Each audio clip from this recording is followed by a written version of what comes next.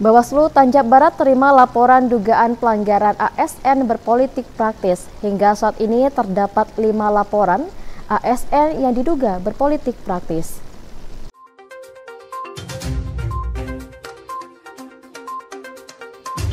Sejumlah tahapan pilkada telah dilaksanakan oleh Bawaslu Tanjab Barat selaku pengawasan. Bahkan pengawas dilakukan secara melekat antara Bawaslu dan KPU.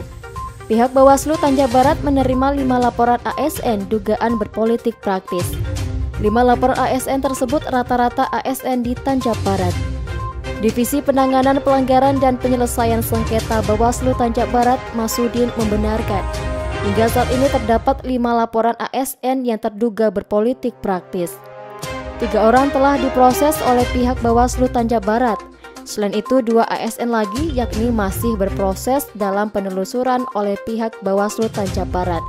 Namun tidak menutup kemungkinan akan bertambah ASN yang diduga berpolitik praktis.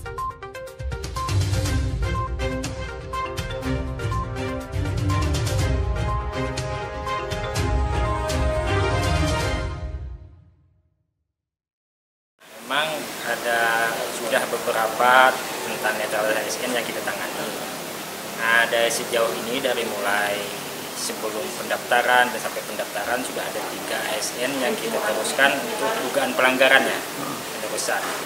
Nah, dan saat ini sudah ada nih informasi yang kita dapat tentang di media sosial dan itu sudah kami plenokan juga jadikan temuan pengawasan tidak langsung. Dan saat ini posisinya masih dalam penelusuran ada dua ASN yang kita telusuri. Rata-rata apa tuh bang yang dua nih uh, intansi pun?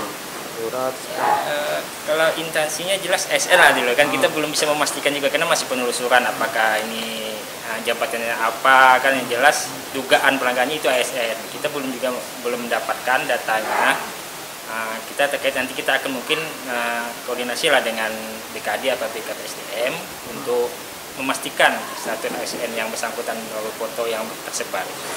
Berarti kalau kayak istilah simbol atau apa nih e, memang ibaratnya belum tentu atau seperti apa bang? Ya, kalau, kalau kita, kita kan hanya dugaan, dugaan, dugaan terkait tentang netralitas dia kan itu nanti diputuskan oleh ya Pak RB yang status sekarang menjadi uh, dulu kan KSN yang anu tentang pembinaan ini nanti sekarang dilimpahkan ke Menpan RB dan BKF.